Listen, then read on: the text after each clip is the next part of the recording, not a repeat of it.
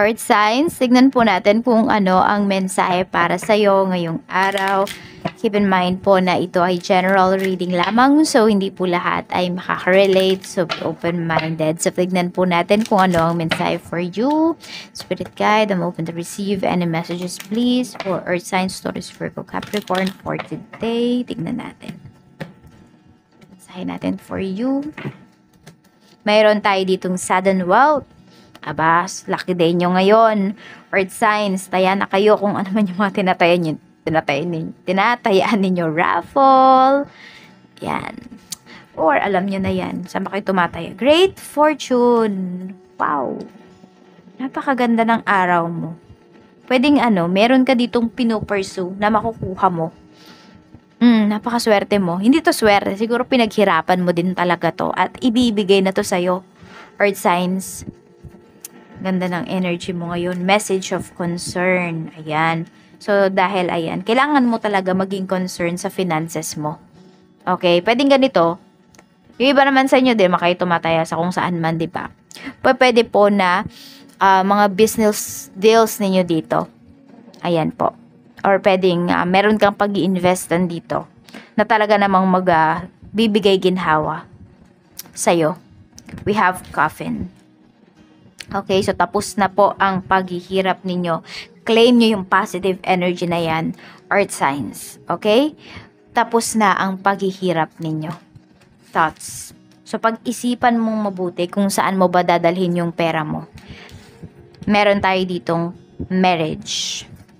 Meron tayo ditong family room. Meron tayo ditong high honor. So alam mo, mapagmamalaki ka talaga ng family mo mararamdaman mo yan sa kanila ngayon. So, kung hindi kayo okay ng family mo, alam mo, marami ka dito, earth signs na makakaayos na family members. Madami ka ditong makakasundo na family members ngayon. Ayan po. So, tignan mo ang ganda, oh, sudden wealth and great fortune. So, yung matagal mo ng wini-wish, hinihintay. Kasi, marami naman kasi sa atin, 'di ba? Hindi naman tayo materialistic, ganyan. Iba-iba rin tayo ng saya, iba-iba tayo ng level of uh, success. 'Di ba? Ano ba yung success sa iyo? Ano ba yung gusto mong makuha dito? Yan. So, pwedeng yun yung ibibigay sa iyo ni universe kung ano ba yung gusto mo talaga. Earth signs. Kaya, huwag kang mapapagod dito na humiling, mag-manifest, at kumilos para dun sa bagay or sa goal na gusto mong ma-reach talaga. Ayan, so concern kayo dito kasi pwedeng may tao dito na pwedeng hindi na kayo pinapansin. Okay, parang huminto na siya ng pakikipag-communicate sa'yo. So, ito, parang iniiwasan ka na nga po. Yan yung nafe-feel mo dito. O kaya naman ito, dahil tumapat or tumabi naman dito yung about sa marriage natin, sa mag-asawa, sa magkarelasyon. So, pwedeng, ayan no, nag-overthink kayo dito ngayon pagdating sa inyong relationship. Kasi pwedeng ang feeling mo kasi nanlamig na sa'yo yung person mo. Kaya ayan. Tapos meron tayo ditong marriage and thoughts. Pinag-iisipan ninyo kung pipirma kayo sa isang kontrata or kung mag extend pa kayo. Ayan po yung mga nasa isipan ninyo ngayong araw na ito. Tapos ito nga sabi ko nga sa inyo is kaya kayong ipagmalaki talaga ng family mo ngayon earth signs. Ayan. And meron din dito pwedeng um, yung dream house po ninyo. Pwedeng uh, makapagpagawa or makabili na po kayo.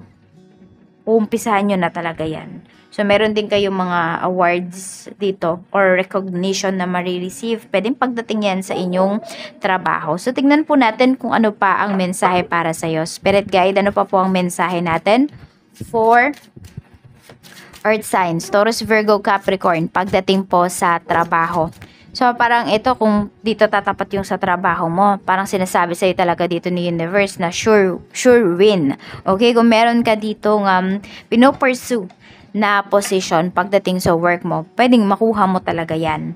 Ayan o, kailangan mo lang talaga dito magtyaga. Sabi ko nga, huwag kang huminto dito. Kasi lahat ng efforts mo, may kapalit yan. May kapalit yan, earth signs. Huwag kang mapapagod.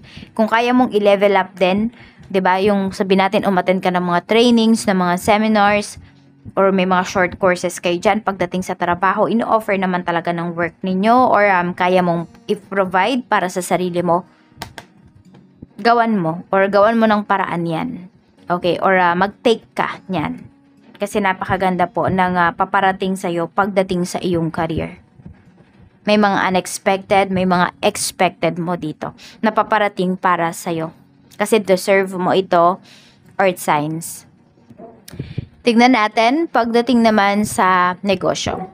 We have the tower, ayan. So, medyo mag-ingat kayo dito. So, ang concern nyo talaga ngayon is yung sales ninyo. Pwede kasi na, ano siya, eh, parang, um, ano siya ba, ano tawag doon? Unstable. Napaka-unstable ng sales ninyo. Nitong mga nakakaraang araw or sign. So, parang taas, baba, taas, baba, ganun yung nangyayari. So, dapat talaga is maging concern yan sa inyo. Tignan ninyo bakit ba ganyan yung nangyayari. So, kaya nyo naman pong solusyonan. Ayan o, you can end that uh, situation naman. Mm-mm. So, ito, expect the unexpected pagdating dito. So, parang kunwari, feeling mo, uh, mahina ngayong araw na ito. Pero yun pala, napakalakas. Kotang-kota pala kayo ngayong araw na ito. Oo. So, ayan, napakadami mong dapat ipagpasalamat talaga, Earth Science, ngayong araw, pagdating dito sa life mo. Tingnan natin, pagdating naman po sa kaperahan, we have the Hermit. Okay, so ayan pala. Pwedeng uh, pinag, uh, pinagpaplanuhan ninyo ng asawa mo or uh, pinagpaplanuhan mong mabuti. Earth Signs, kung saan mo ba dadalhin yung pera mo ngayon. Pinag-iisipan mo yan, oh. Mukha kasing meron ka din, tignan mo. Di ba may mga unfinished business ka dito? So, ayan po. Mukhang madaming nakapila. So, yung iba sa inyo, carry na rin, di ba, na meron kayo ditong makukuha na malaking halaga for some of you. Tapos, ayun, kaya nyo naman nang bayaran yung mga bills ninyo, mga unpaid bills for some of you. Or kung ano man ito, na mga uh, hindi nyo pa nababayaran. So, sulit naman, 'di ba? Sabihin natin na kasi yung iba sa inyo pwedeng ang may nakuha kayong uh, pera pero hindi nyo naman masyadong may enjoy. Pero okay na din at least, 'di ba? Nabayaran or na-cover po nito yung inyong mga gastusin, yung mga mm, um, sabihin natin mga dapat ninyong bayaran. Tingnan natin pagdating naman sa love life mo, we have Knight of Cups.